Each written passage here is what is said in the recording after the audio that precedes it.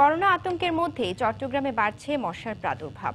জলাবদ্ধতা প্রকল্পের কারণে খালের মুখ ও পানি চলাচল বন্ধ থাকায় মশা বাড়ছে বলে দাবি সিটি কর্পোরেশন কর্মকর্তাদের। তবে গত বছরের মতোই নগরীতে মশা ও ডেঙ্গুর প্রাদুর্ভাব কম রাখার আশাবাদ সিটি মেয়রের। বিস্তারিত জানাচ্ছেন পার্থ প্রতিম বিশ্বাস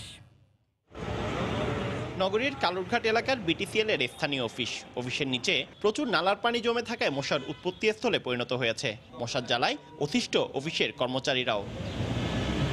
শুধু এই জায়গায় নয় নগরীর বেশিরভাগ এলাকার এখন একই চিত্র।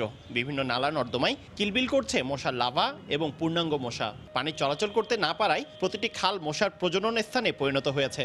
আর মশার উৎপাতে বিপাকে সাধারণ মানুষ। ডেঙ্গুর থেকে তো আমাদের ভয়ঙ্কর অবস্থা। এখানে আমরা বাঁচবো কীভাবে বাঁচবো এটা আমরা চিন্তা করছি।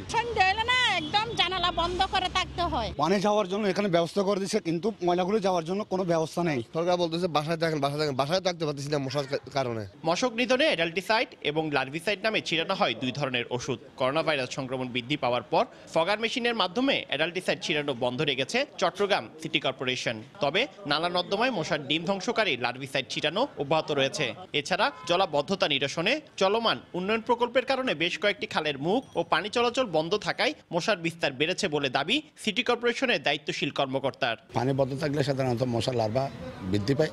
এটা আমরা অর্থাৎ ফাইন্ড আউট করে এখন মশার স্প্রে করতেছি। যে ওষুধটা মারা হচ্ছে সেটি হলো আপনাদের মশার প্রজনন ক্ষমতাকে ধ্বংস করে এবং যেখানে ডিম্বাণু সৃষ্টি হবে সেই জায়গাটিকে আমরা মেরে ফেলছি। এদিকে পরিকল্পনা মাফিক কাজের মাধ্যমে গতবারের মতো এবারও নগরীতে মশা ও ডেঙ্গুর প্রাদুর্ভাব কম রাখার আশাবাদ সিটি মেয়রের। আমরা অত্যন্ত স- সচেতন আছি সতর্ক আছি এবং পরিকল্পনা নিচ্ছি এবং যথাযথ বাস্তবের মধ্যে ইনশাল্লাহ এই নগরকে ডেঙ্গুমুক্ত রাখতে পারবে। দুই হাজার উনিশ বিশ অর্থ বছরের বাজেটে মশক নিধনে ওষুধ ও কাঁচামাল বাবদ বরাদ্দ রাখা হয়েছে ছয় কোটি টাকা। গত চার বছরে মশক নিধনে সিটি কর্পোরেশন ব্যয় করেছে সাত কোটি একত্রিশ লাখ টাকা।